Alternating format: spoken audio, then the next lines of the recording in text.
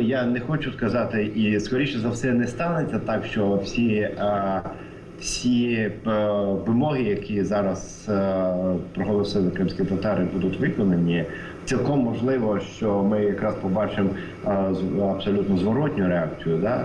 А коли російська окупаційна влада, особливо на першому етапі, буде намагатися посилити репресії. Да? Ви знаєте, що сьогодні вже прокуратура окупаційна вже заявила про те, що е, забороняє використовувати слово меджліс, багато чого іншого. Тобто це Росія, Росія йде класичним шляхом да, своїм, як, як вона діє. Тобто вона зазвичай не готова домовлятися з опонентами, а робить ставку на їх повне знищення да? і кол- колаборацію.